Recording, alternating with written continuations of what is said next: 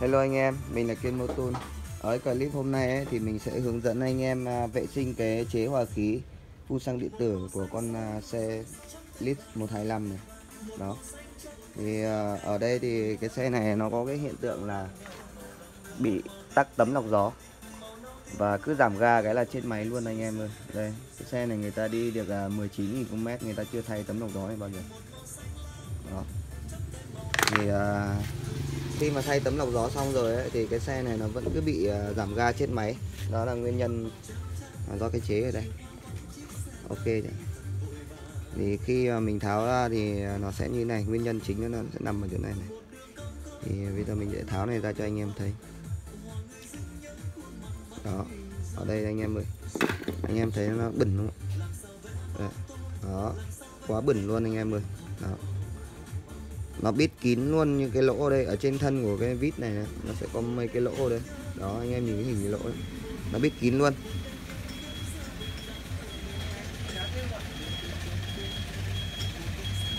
Đó, nó bít kín luôn anh em ơi. Đó. thì bây giờ anh em à, sẽ làm vệ sinh cho mình như này. Thì trước tiên thì anh em có thể là rửa xăng qua cho nó sạch nhé. Ở cái phần à, một này thì mình sẽ hướng dẫn anh em là vệ sinh cái à, chế hòa khí này. Phun xăng điện tử. Thì anh em vẫn làm bình thường đây, anh em nhìn bên trong này nó đen xì luôn. Đó. thì anh em cần vệ sinh qua. Bên ngoài cho nó sạch sẽ đi, khi mình tháo ra cho nó đỡ bị à, bụi rơi vào trong. Thì cái cách thức tháo cái này nó cũng rất là đơn giản thôi, vệ sinh rất đơn giản thôi. Thì bước đầu tiên thì anh em sẽ vệ sinh bằng xăng cho nó sạch sẽ qua đi đó, mình cũng rửa luôn cái tay tay mình bẩn quá. Khi à, làm máy này nó cũng rất là bẩn. Mình vừa làm à, hệ thống côn với à. may ơ xong thì cái tay mình cũng hơi bẩn. Rồi ok. Đó mình tạm thời anh em sẽ để ra đây. Cái này nó rất là bẩn luôn này đó anh em đã thấy đây nó có cái lỗ chưa? Đó, bây giờ nó mới thông này. Lúc nãy là nó tắc luôn. Ok. Sau khi anh em à, vệ sinh bên ngoài xong rồi thì nếu mà anh em có vòi đó. còn nếu như anh em không có vòi hơi thì cũng không cần thiết, bởi vì là cái này xăng này một tí sau nó khắc tự khô. Ok, bây giờ mình sẽ đi đổ cái này đã.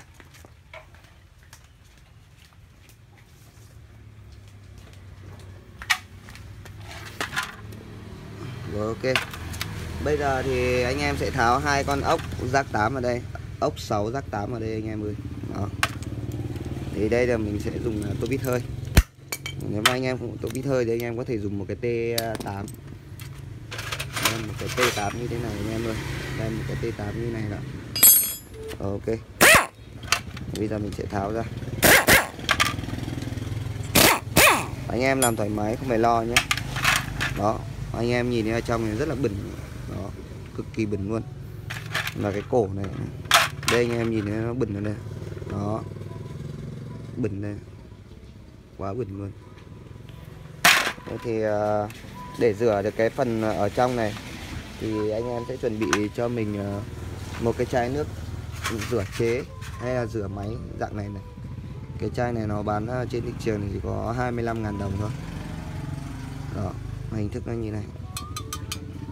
Đây các thông số kỹ thuật của nó. Ở đây là nó có luôn cái hình của cái máy. Đó.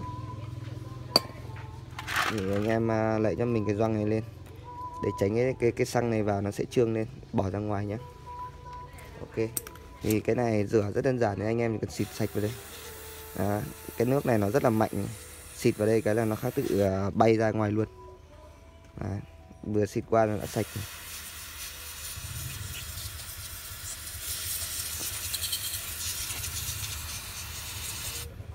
Rồi bây giờ anh em sẽ cầm cái chổi anh em ngoáy. Cũng phải có một thời gian nhất định này nó mới bở được những cái đen đen ở trong này ra. Nó cũng rất là bình,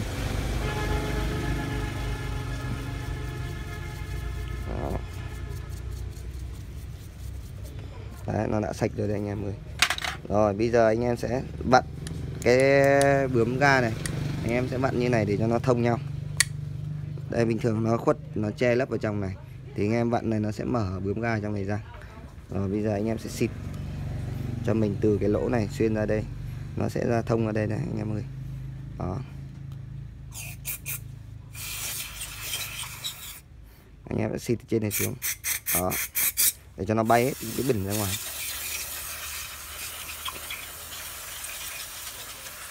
Những cái này ấy, thì khi anh em rửa bằng xăng là nó không sạch đâu. Anh em phải dùng cái dung dịch của nó. Cái lọ này nó cũng rẻ nên là anh em xịt thoải mái. Xịt thoải mái hết chỉ tầm uh, chưa đầy nửa lọ đâu. Chỉ, chỉ hết 1 phần ba lọ thôi. Một cái lọ này anh em mua về thoải mái rửa luôn. Ok thì bây giờ mình sẽ để lên chỗ cao giáo sạch sẽ đã. Đây tiếp theo là đến cái phần này. Hiện tại bây giờ cái trong này nó đang rất là đen và bẩn này anh em nhìn rõ này mình cần xịt phát là nó sạch luôn. Không cần lau luôn đó anh em nhìn thấy nó sạch luôn đó. Đó, ờ, bây giờ là mình sẽ làm.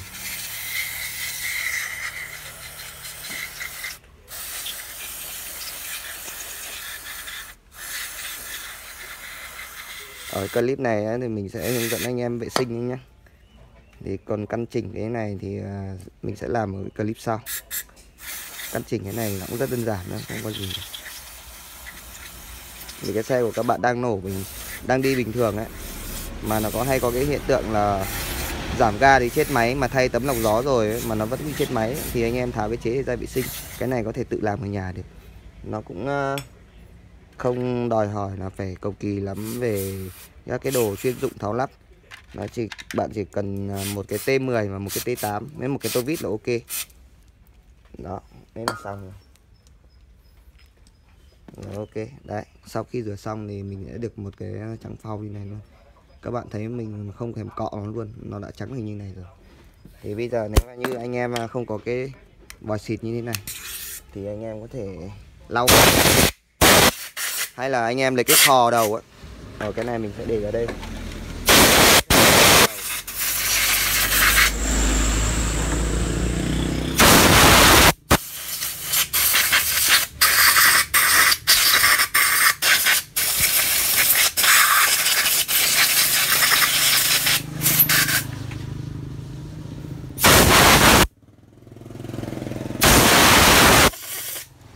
cái này thì nó vẫn còn sạch anh em chỉ vệ sinh ok rất là đơn giản thôi.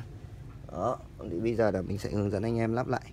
Thì trên cái răng này này nó sẽ có hình chạy theo đây.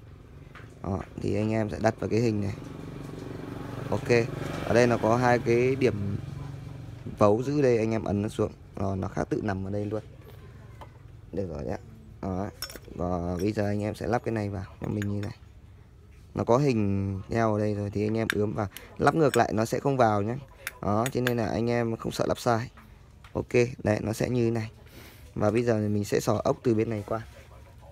Rất đơn giản thôi. Đó. Anh em xỏ ốc từ bên này qua. Bạn ốc là nó xong. Nó cũng rất là đơn giản không, không có gì cầu kỳ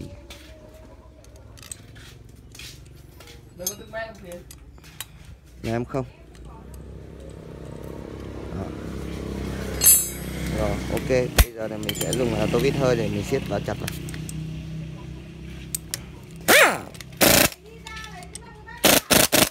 Đó, rất là đơn giản đó.